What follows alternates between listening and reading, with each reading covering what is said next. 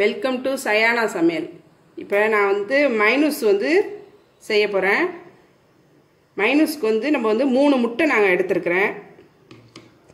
எண்ணெய் வந்து ஒரு இரநூறு எம்எல் கோல்டு வின்னரு இல்லைன்னா சன்ஃப்ளவரு எது வேண்டாலும் எடுத்துக்கலாம். கடலை எண்ணெய்லாம் எடுக்கக்கூடாது.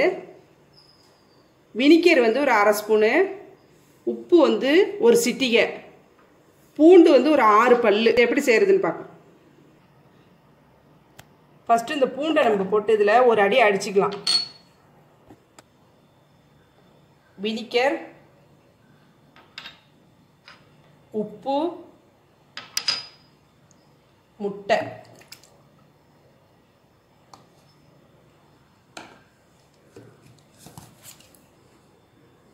இப்போ நம்மளுக்கு இது எல்லாமே ஒரு அளவு அரைப்பட்டுடுச்சு. இதில் வந்து கொஞ்சம் கொஞ்சமாக நம்ம வந்து எண்ணெயை வந்து சேர்த்துக்கணும். ஃபஸ்ட்டு ஒரு ரெண்டு ஸ்பூனு. அதில் ஊற்றிட்டு திரும்பவும் அதே போல் ஒரு ரெண்டு ஸ்பூன் எண்ணெய் விட்டு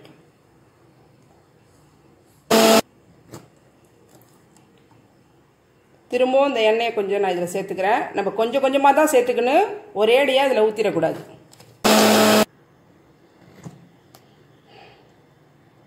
திரும்பவும் ஒரு ரெண்டு ஸ்பூன் அளவுக்கு நான் விட்டுக்கிறேன். இப்போ நம்மளுடைய மைனஸ் வந்து ரெடி ஆயிடுச்சு.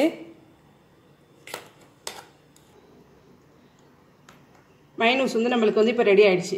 இது நம்ம வந்து வீட்டிலே செய்யக்கூடிய மைனூஸு இது வந்து நீங்கள் வந்து வெள்ளையாக நீங்கள் வந்து வேணுண்டாக்கா கடையில் உள்ளது மாதிரி வெள்ளைக்கருவு தனியாகவும் மஞ்சக்கருவு தனியாகவும் நம்ம எடுத்துகிட்டு முட்டையில் அதை நம்ம தனியாக அதே இதே மெத்தடில் நம்ம செஞ்சுக்கலாம்.